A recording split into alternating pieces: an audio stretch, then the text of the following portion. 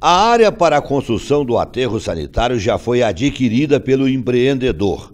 Até o mês de fevereiro, possivelmente a Secretaria Estadual de Meio Ambiente libere o alvará de construção. Nós conversamos com Jerônimo, representante da SEMA, que estava na audiência pública.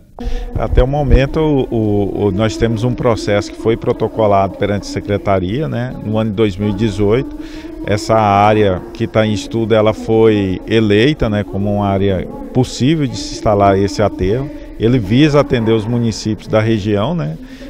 É uma atividade comercial, ela não, não tem o poder público envolvido, no caso, quem vai empreender depois que vai receber esses resíduos.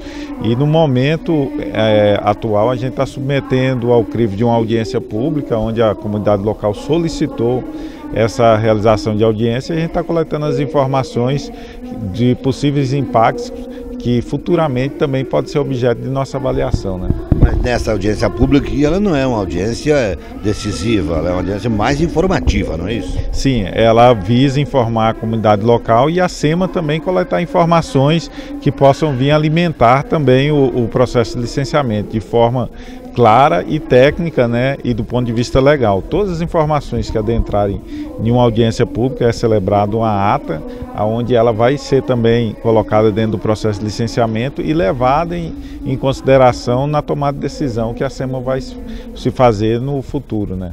O empreendimento é cerca de 5 milhões de reais, vai gerar renda e emprego.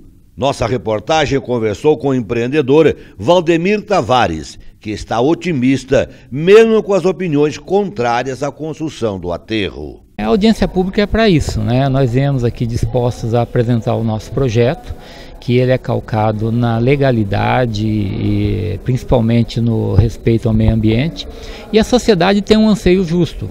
É, depois de muitas conversas é, atravessadas que a gente tem ouvido, a gente ouviu de algumas pessoas aqui algo muito mais direto, né, que é a preocupação deles quanto ao, aos assentados que trabalham com agricultura familiar.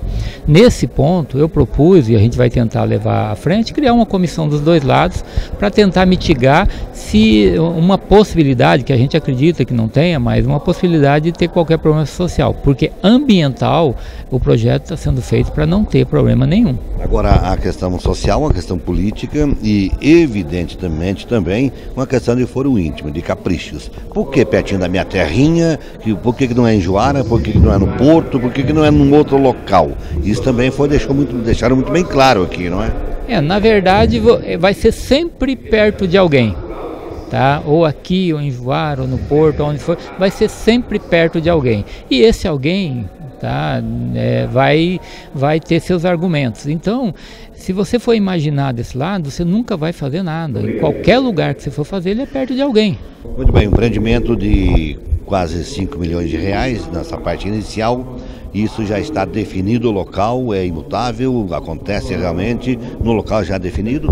Esse local ele foi escolhido através de três ar-condicionados e estrategicamente em termos de localização. Aqui ele atende com facilidade os três municípios próximos e até Tabaporã. É, de nossa parte ele está definido.